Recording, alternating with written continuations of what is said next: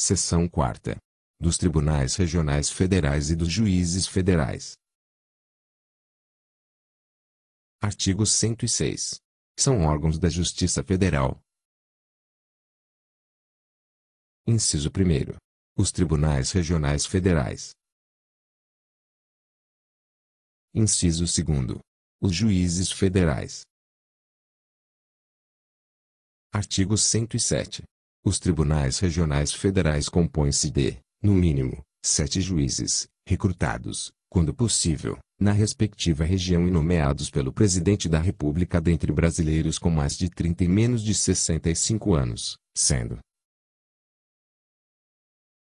Inciso 1. Um quinto dentre advogados com mais de 10 anos de efetiva atividade profissional e membros do Ministério Público Federal com mais de 10 anos de carreira. Inciso 2. Os demais, mediante promoção de juízes federais com mais de cinco anos de exercício, por antiguidade e merecimento, alternadamente.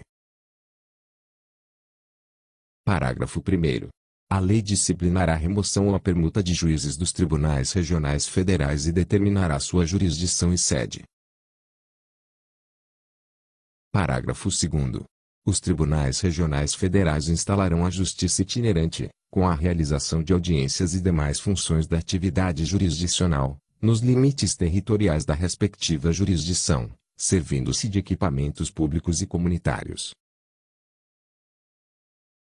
Parágrafo 3 Os tribunais regionais federais poderão funcionar descentralizadamente, constituindo câmaras regionais, a fim de assegurar o pleno acesso do jurisdicionado à justiça em todas as fases do processo. Artigo 108. Compete aos tribunais regionais federais. Inciso 1. Processar e julgar, originariamente.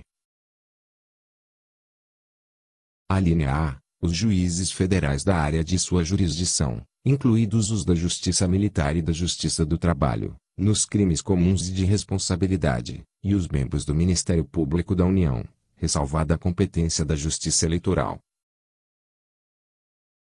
A linha B. As revisões criminais e as ações rescisórias de julgados seus ou dos juízes federais da região. A linha C. Os mandados de segurança e os habeas data contra ato do próprio tribunal ou de juiz federal. A linha D os habeas corpus, quando a autoridade coatora for juiz federal. A linha I, os conflitos de competência entre juízes federais vinculados ao tribunal. Inciso 2. Julgar, em grau de recurso, as causas decididas pelos juízes federais e pelos juízes estaduais no exercício da competência federal da área de sua jurisdição. Artigo 109. Aos juízes federais compete processar e julgar. Inciso 1. As causas em que a União, entidade autárquica ou empresa pública federal forem interessadas na condição de autoras, res, assistentes ou oponentes, exceto as de falência, as de acidentes de trabalho e as sujeitas à Justiça Eleitoral e à Justiça do Trabalho. Inciso 2. As causas entre Estado estrangeiro ou organismo internacional e município ou pessoa domiciliada ou residente no país. Inciso 3. As causas fundadas em tratado ou contrato da União com Estado estrangeiro ou organismo internacional. Inciso 4. Os crimes políticos e as infrações penais praticadas em detrimento de bens, serviços ou interesse da União ou de suas entidades autárquicas ou empresas públicas, excluídas as contravenções e ressalvada a competência da Justiça Militar e da Justiça Eleitoral. Inciso 5 Os crimes previstos em tratado ou convenção internacional, quando, iniciada a execução no país, o resultado tem ou devesse ter ocorrido no estrangeiro, ou reciprocamente.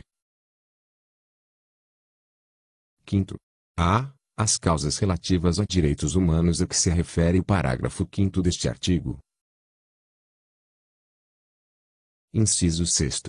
Os crimes contra a organização do trabalho e, nos casos determinados por lei, contra o sistema financeiro e a ordem econômico-financeira. Inciso 7. Os habeas corpus, em matéria criminal de sua competência ou quando o constrangimento provier de autoridade cujos atos não estejam diretamente sujeitos a outra jurisdição. Inciso 8. Os mandados de segurança e os habeas data contra ato de autoridade federal, excetuados os casos de competência dos tribunais federais. Inciso 9. Os crimes cometidos a bordo.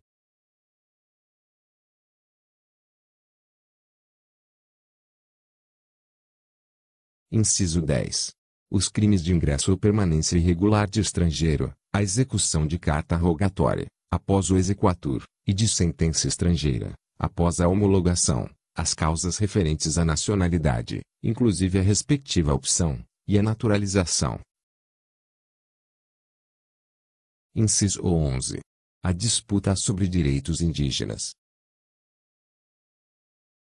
Parágrafo 1 as causas em que a União for autora serão aforadas na sessão judiciária onde tiver domicílio a outra parte. Parágrafo 2 As causas intentadas contra a União poderão ser aforadas na sessão judiciária em que for domiciliado o autor, naquela onde houver ocorrido o ato ou fato que deu origem à demanda ou onde esteja situada a coisa, ou, ainda, no Distrito Federal. Parágrafo 3 serão processadas e julgadas na Justiça Estadual, no foro do domicílio dos segurados ou beneficiários, as causas em que forem parte instituição de previdência social e segurado, sempre que a comarca não seja sede de vara do juízo federal, e, se verificada essa condição, a lei poderá permitir que outras causas sejam também processadas e julgadas pela Justiça Estadual. Parágrafo 4. Na hipótese do parágrafo anterior, o recurso cabível será sempre para o Tribunal Regional Federal na área de jurisdição do juiz de primeiro grau. Parágrafo 5 Nas hipóteses de grave violação de direitos humanos, o Procurador-Geral da República, com a finalidade de assegurar o cumprimento de obrigações decorrentes de tratados internacionais de direitos humanos dos quais o Brasil seja parte, poderá suscitar, perante o Superior Tribunal de Justiça, em qualquer fase do inquérito ou processo, incidente de deslocamento de competência para a Justiça Federal. Artigo 110. Cada Estado, bem como o Distrito Federal, constituirá uma seção judiciária que terá por sede a respectiva capital, e varas localizadas segundo o estabelecido em lei. Parágrafo único.